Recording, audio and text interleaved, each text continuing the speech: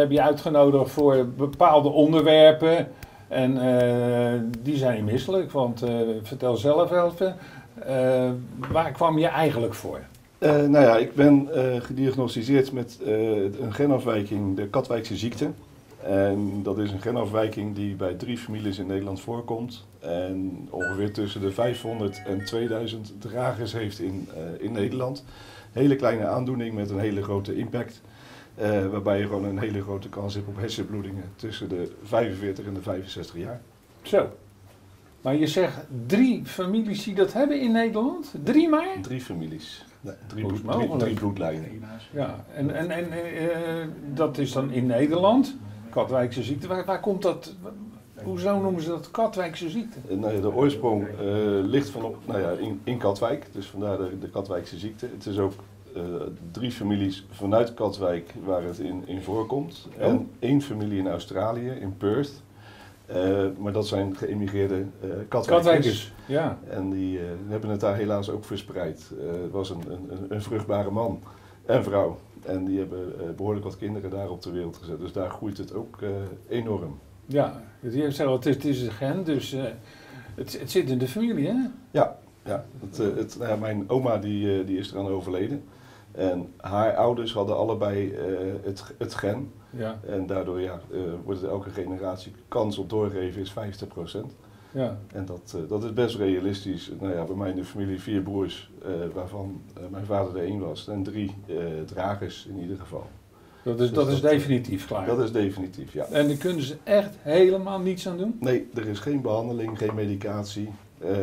ik ga volgend jaar de Santiago de Compostela lopen, vanaf Katwijk aan Zee om uh, geld in te zamelen voor onderzoek. Wat ja. gewoon uh, heel erg hard nodig is. Ja, dat geloof ik. Dat ja. geloof ik. En dan, ja, je, je, als ik ja, kijk, dan ben je nog helemaal niet zo heel oud natuurlijk. ik ben 49. Ja, dat kan je nagaan, hè? Ja. En dan dat je dan je hebt een bedrijf en dat moet je dan ook van wel zeggen straks. Ja, nou ja, je wil geen uh, risico lopen dat je een hersenbloeding krijgt op de weg. En, nee. Nou ja, ik heb leerlingen die rijden zo naar het ziekenhuis toe. Ik heb er ook bij die raken in paniek en die stoppen bij Oberhaus omdat de brand, uh, brandstof op is. Ja. Dus ja, dat, uh, dat wil je geen risico voor gaan nemen. Ja. Dat, dat, dat gen, hè, dus dat, die Katwijkse, Katwijkse ziekte, wat houdt het nou precies helemaal in? Het is een uh, een eiwit. Het is, het is een genafwijking en die is ontstaan ongeveer in 1500. En dat gen zorgt ervoor dat een bepaald eiwit uh, onvoldoende wordt afgebroken. En bij ons, bij de Katwijkse ziekte, slaat het dan op de bloedvaten van de hersenen, waardoor er dus hersenbloedingen opstaan. Het is een onderdeel, ook nou hetzelfde eiwit bij uh, Alzheimer. Alleen Alzheimer slaat op de verbindingen tussen de hersenhelften, waarbij je dus inderdaad vergeetachtig wordt of bepaalde linkjes niet meer kan leggen. En daar zit eigenlijk het grote verschil. En via de Hersenstichting wordt er wel geld binnengehaald, maar dat gaat het grootste gedeelte gaat naar onderzoek voor Alzheimer. Want daar heb je gewoon 1 miljoen mensen die daar kans op lopen of het hebben. En ook natuurlijk belangrijk, maar voor mij persoonlijk is natuurlijk onderzoek naar de, de Katwijkse ziekte. Dat is veel belangrijker dan Alzheimer. Ja, ja, logisch, logisch, logisch, logisch. Ja. Maar goed, en dan, dan ben jij, uh, ja, het is geconstateerd bij jou, klaar. Ja. He, je weet al dat het vanaf je zesde jaar geloof ik dat, dat het erin zit. Dat het in de familie zit. Dat de familie zit en dan, uh, nou je bent 49, vertelde je al. Is het te gek voor woorden dit? Ja, nou ja, dat, uh, het, het, is wat het is. Ja, en, maar... Uh, je, ja, je probeert er gewoon een positieve draai aan te geven. En uh, nou ja, je weet dat er een zwaard van Damocles boven je hoofd hangt. En nou ja, een soort van tikkende tijdbom waarvan je de tijd niet kan zien. Hmm. En dat is het, wat het lastigste maakt. Heb jij het meegemaakt, ook van je familieleden, dat ze op het laatste moment dat kregen? Vlak voor het overlijden? Nou ja, ik heb twee ooms uh, aan deze aandoening verloren. Eentje op 51-jarige leeftijd gelijk fataal. Dus dan 1 op de 3 eerste bloedingen is fataal. Ja. En nou ja, nadat je de eerste hebt gehad, weet je zeker dat er een tweede volgt. En een andere oom van mij die is uiteindelijk op 67-jarige leeftijd overleden aan de gevolgen van een heleboel hersenbloedingen. Een heleboel hersenbloedingen, dat kan ook nog. Ja, dus als je ja, als kleinere bloedvaten knappen, ja, dan hoeft dat niet gelijk fataal te zijn. Nee. Op het moment dat er een grote bloedvat knapt, ja, dan weet je zeker dat uh, de eerste zo goed als zeker fataal is. Ja, ja, ja. Nou, heb jij een, een idee van, uh, nou, er moet het aan gedaan worden, er moet geld binnenkomen. Ja, dat is aardig wat geld binnengekomen door loopwedstrijden. Hè? Hoezo ben je daar aan gekomen om dat met lopen te gaan doen? Het, en niet met fietsen? Het, het, is, het, is geen, het is geen loopwedstrijd, het is een, uh, een pelgrimstocht. Uh, pelgrimstocht? Ja, en okay. gaat vanaf Katwijk aan zee, vertrek ik 29 augustus volgend jaar. En dan probeer ik in vier maanden tijd naar Santiago de Compostela te lopen. Uh, om zoveel mogelijk geld in te zamelen voor onderzoek naar uh, deze aandoening. Ja, ja. doe je dat alleen? Uh, ik, ik, nou, er loopt familie mee. er komt een, een, vriend van mij die komt naar Zuid-Frankrijk, die loopt mee door de Pyreneeën. nou ja, er haken overal mensen aan. Ik heb behoorlijk wat vrienden wonen in Frankrijk, die oh, ik ken van de vakantie. En die hebben ook al aangeboden om een aantal dagen mee te lopen en ook om onderdak te verzorgen daar zo. Ja, ja. Dus er zit wel aardig wat in de pen. Hè? Er zit aardig wat in de, in, in de pen, inderdaad. Ja, dat, ja. En, de, en dat moet er allemaal uit in augustus. Ja. En de, waarvoor niet eerder? Uh, nou ja, ik zit met mijn rijschool en ik heb nog een aantal leerlingen die ik graag nog uh, okay, dat, ja. Ja, wil, wil wegwerken. waaronder mijn eigen dochter, want die wordt 17 in juni. En die wil ik graag nog even voordat ik op. Uh, even, even het rijlesje ja, van even papa. Nog het, eh, even nog het examen erdoor. Ja, nou dat is alleen maar prachtig toch? Ja, dat, dat, als, dat je nog kon doen. Als het nog mogelijk is dan. Ja, als het nog mogelijk is. Ja, dan moet je ook aan wachten natuurlijk. Maar goed, op het ogenblik gaat het uh, vrij goed Ik heb nog geen klachten, nee. Oké.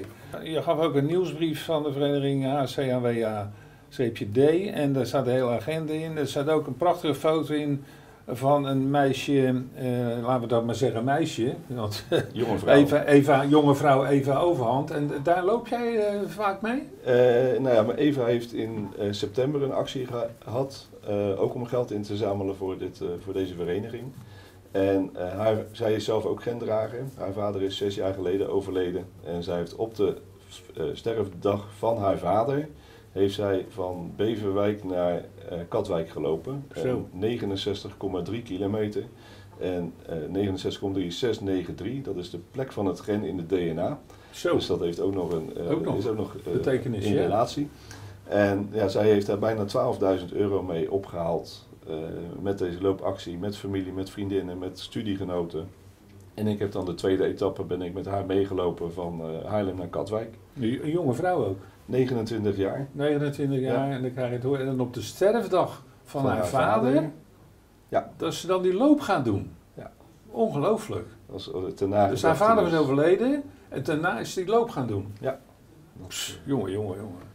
Dat, bizar, ze, bizar. Ze en dan weet je zelf dat je het zelf ook nog hebt. Ja, ze wilde zelf ook ja, geld uh, inzamelen uh, voor deze actie. Zij weet het nu zelf vier jaar. Dus ze heeft twee jaar na het overlijden van haar vader heeft ze de test uh, gedaan. Mhm. En daar is inderdaad ook positieve uh, resultaat uitgekomen. Ja, ja. ja, ja positief met een negatieve uh, ja, ze hebben relaties zo te zien met een vriend en dat, dat, dat krijg je dan maar te horen. Hè? Ja, je leven, oh. je leven staat op zijn kop. kop. Want, nou, ja, is een beetje ook. In plaats van dat je huisje, boompje, beestje wil gaan doen, moet je toch ineens gaan nadenken over hoe nu verder. Ja. Hoe nu verder met uh, de mensen die zitten te luisteren? Wat kunnen wij doen? Wat, wat, wat raad jij aan? Uh, nou ja, ik, heb een, uh, ik ben een inzamelactie begonnen. En misschien dat we via de website straks de donatielink kunnen delen. Ja. mensen kunnen me volgen via Christian Langeveld of Chris Goes Santiago de Compostela via Facebook. En daar komt ook alle informatie met betrekking tot het lopen, tot de inzamelacties. ik heb heel veel vrienden die opstaan, die mee willen helpen. En nou ja, met allerlei verschillende acties proberen we gewoon zoveel mogelijk geld binnen te halen. Ja, ja, ja dat, dat moet gewoon. En, wanneer ga jij nou stoppen met, met het bedrijf? Ik stop volgend jaar per 1 juli. Per 1 juli. Dan uh, ga ik naar Frankrijk om uh, te trainen, vooral voor de hoogtes in, in, in, Spanje en Zuid-Frankrijk. En dan vertrekken we 29 augustus 2025. En ik hoop op 24 december kerstavond aan te kopen Zo. in de kathedraal van Santiago de Compostela. Zo, wat een, wat, een, wat een route heb je gepakt man. 2430 kilometer. 2430 kilometer. En dat is nog zonder dat ik naar de bakker of naar een supermarkt hoef te lopen. Dus die kilometers die komen er waarschijnlijk ook nog bij. En er zitten mensen bij, die, jij loopt niet alleen hè? Ik heb uh, nou ja, vrienden, familie uh, die etappes meelopen, die naar Zuid-Frankrijk komen. Uh, met de auto of met het openbaar vervoer. En dan een, een paar dagen of een week meelopen die er nou weer terug gaan. En ik heb een vriend van mij die komt naar Zuid-Frankrijk, naar Saint-Jean-Pied-de-Port. Dat ligt tegen de Pyreneeën.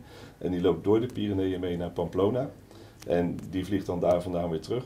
En zo heb ik meerdere mensen die nou ja, etappes meelopen. Ik begin in Katwijk. Nederland is redelijk al uh, afgedekt. En nou ja, mochten er nog mensen zijn die een overnachtingsplek hebben uh, tussen Katwijk en Vlissingen, dan uh, houd ik me van harte aanbevolen. Oké, oké. ja, het is niet zo, je blijft maar doorlopen, je blijft maar doorlopen. Je moet wel even tot, tot de pauze komen. Hè? Je moet wel inderdaad een hapje, een drankje en een slaapplek tuurlijk, tuurlijk, tuurlijk, tuurlijk. Nou, ik, ik, ik bedank je hartelijk voor je aanwezigheid in de studio van Link Media. Ik wens je ontzettend veel sterkte met alles wat je nog gaat doen. Heel veel sterkte ook met natuurlijk de loop, maar we houden je in de gaten, dus je, je, komt nog maar een keer langs, laten we het zo maar zeggen, om nog eens een keertje het, uh, het te vertellen, laten we het zo maar zeggen. Dankjewel Kees. Dat, ja? uh, ik nou, neem dat aanbod van harte aan. En bedankt dat ik vandaag ook mocht komen om mijn verhaal te doen. Nou, heel graag gedaan. En hopelijk komen er weer wat, wat stapjes bij, bij het onderzoek. Zo is het, het hopen we maar. Heel veel geld moet er binnenkomen. Absoluut. En mensen die zitten luisteren, moeten daar maar even op de site kijken. Ja, ja? Dank, je wel. En goede zondag verder. Jij ook fijne zondag.